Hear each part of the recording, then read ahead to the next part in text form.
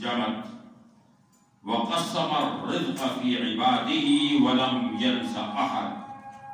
والصلاة والسلام على حبيبه من لا نبي بعد.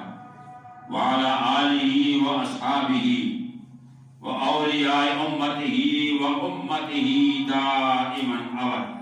أما بعد، فأعوذ بالله من الشيطان الرجيم. بسم الله الرحمن الرحيم.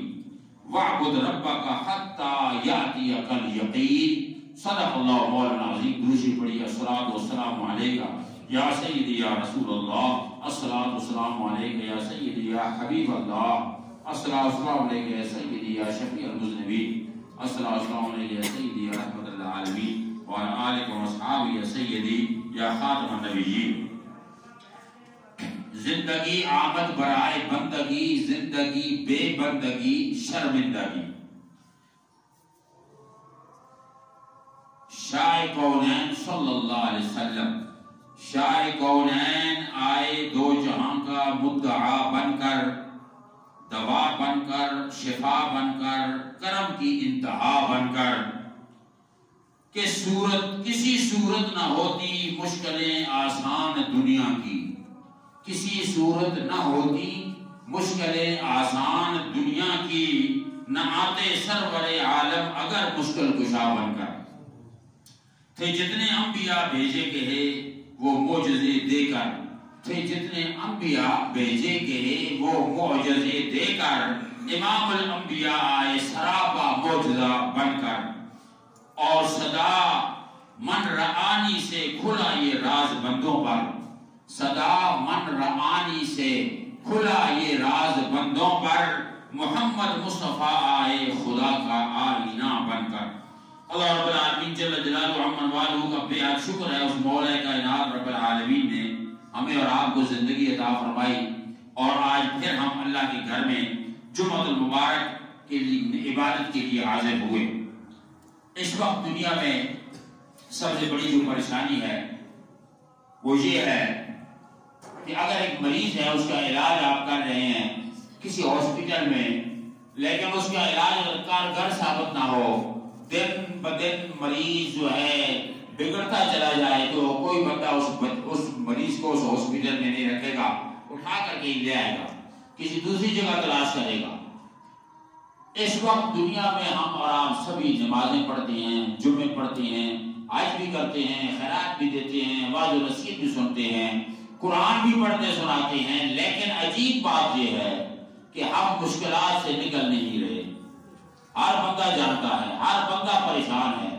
کوئی سوشل پرابلم میں پھنسا ہوا ہے، کوئی فیملی پرابلم میں پھنسا ہوا ہے، کوئی بزنس پرابلم پھنسا ہوا ہے۔ آج ہمیں دیکھنا یہ ہے چند لمحات کے اندر کہ کون سا وہ راستہ ہے کہ یہ عبادت جو ہے، یہ تو اللہ نے اس لیے رکھی ہے تاکہ بندہ مشکلات سے نکل کر فرد و شادمانی کی زندگی میں آئے۔ خوشحالی زندگی میں آئے۔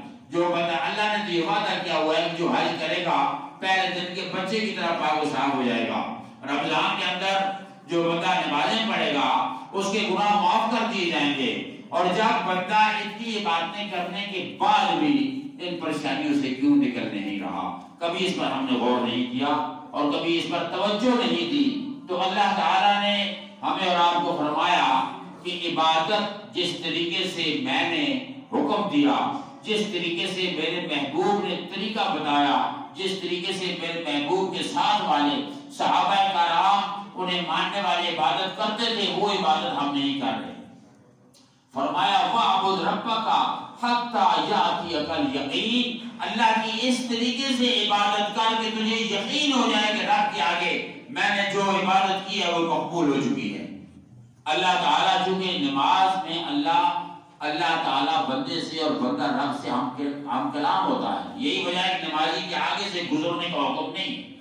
فرمایا اگر نمازی کے آگے سے بندہ گزر جائے تو چار اسے پتہ چل جائے اس میں عذاب کتنا ہے تو چالیس سال وہاں کھڑا رہے۔ آگے سے نہ گزرے، کیونکہ اللہ کے ساتھ بندہ جو ہے گفتگو کر رہا ہے۔ رب کے ساتھ بندہ ہم کلامی کر رہا ہے۔ تو سب سے بڑا ہمارا اور آپ کا پرابلم سب کا یہ ہے مسلمانوں کا اس وقت کہ ہم نماز پڑھتے ہیں، لیکن نماز پڑھنے کے بعد بھی ہمیں اطمینان نہیں ملتا۔ اللہ بذکر اللہ تطمئن القلوب۔ اللہ نے فرمایا، خبردار سن لو، اللہ کا ذکر ہی تمہارے دلوں کو اطمینان بخشتا ہے، سکون بخشتا ہے فرد و شادمانی بخشتا ہے۔ اور اور پھر فرمایا عقب الصلاۃ لذکری۔ جب نماز پڑھو تو یہ سوچا کرو کہ میں اللہ کی یاد کے لیے پڑھ رہا ہوں۔ ذکر کے لیے۔ اور ذکر جس تسکین قلب کا ذریعہ ہے۔ اور اسی طریقے سے فرمایا کہ نماز پڑھتے وقت یہ یقین ہونا چاہیے۔ حضور علیہ السلام نے فرمایا، جب جبریل علیہ السلام ایک شخص کی شکل میں مسجد نبی میں نبی کریم کے سامنے دوزانے ہو کر آ کے بیٹھ گئے، سارے صحابہ بیٹھے ہوئے تھے، حضرت عمر بھی تھے۔ اور انہوں نے آ کر السلام علیکم کہا۔ دونوں ہاتھ ملا کے نبی کریم علیہ السلام کے گھٹنے پہ دونوں ہاتھ رکھ کے پوچھا، یا رسول اللہ پر ایمان؟ پھر پوچھا، یا رسول اللہ پر اسلام؟ پھر پوچھا، یا رسول اللہ پر احسان؟ تین سوال کیے۔ بلکہ چوتھا بھی ایک سوال کیا، لیکن جس کا جواب حضور نے اس کو نہیں دیا۔ ایمان کیا ہے؟ بلا کر فرمایا ان تؤمنوا بالله ورسوله وملائکته وکتبه ورسله ایمان یہ ہے۔ اللہ پہ ایمان لانا، قیامت پہ ایمان لانا، نبی پہ ایمان لانا، دعوت پہ ایمان لانا۔ پھر کہا، من اسلام؟ فرمایا ان تقیم الصلاۃ وتؤت الزکات وتصوم رمضان۔ یعنی اسلام یہ ہے کہ بندہ نماز کی پابندی کرے، روزے رکھے، صدقہ خیرات دے، قرآن پڑھے، یہ سارا اسلام ہے۔ پھر اس نے عرض کی، یا رسول اللہ، احسان کیا ہے؟ مل احسان۔ آپ نے فرمایا، جب تو صلیت جب تو نماز پڑھے، تو نماز پڑھتے ہوئے تیرا یہ یقین ہو کہ کانک ترا ہو، جس اللہ کی نماز پڑھ رہا ہے، اس کو تو دیکھ رہا ہے اللہ تعالیٰ سے تو مخاطب ہے۔ فَإِن لَمْ تَكُنْ تَرَاهُ فَإِنَّهُ يَرَاكَ فرمایا، اگر تیرے اندر یہ یقین نہیں ہے کہ تو رب کو دیکھ رہا ہے، تو کم از کم اتنا یقین ضرور ہو کہ رب تجھے دیکھ رہا ہے۔ تو جب یہ کیفیت بندے میں پیدا اس کے بعد میرے دوستوں عبادت کا مزہ آئے گا۔ اس وقت آپ عبادت سے فائدہ اٹھائیں گے۔ اس وقت آپ کو تسکین قلب بھی ملے گا۔ آپ کی دعا بھی قبول ہوگی اور آپ مستجاب دعوات بن جائیں گے۔ یہ یقین اور اسی یقین کا نام ایمان کامل ہے۔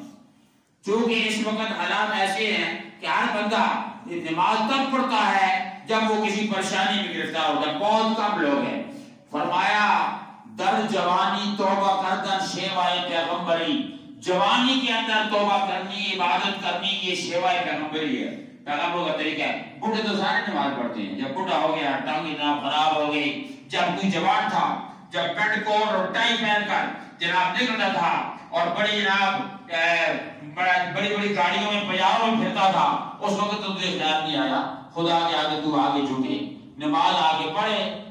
اور جناب والا، اب جب تو پریشان ہوا، اب جب کوئی ایکسیڈنٹ ہو گیا، کوئی پریشانی آ گئی بڑھا ہو گیا، چلنے کا بڑھا پھر خدا کی طرف آ گیا۔ تو اس نماز کی بھی اللہ قبول کرنے والا ہے، لیکن وہ حیثیت نہیں ہے جو جوانی کی نماز کی حیثیت ہے۔ اللہ اقبال نے کہا، میں سر بسجدہ ہوا کبھی تو زمین سے آنے لگی صدا۔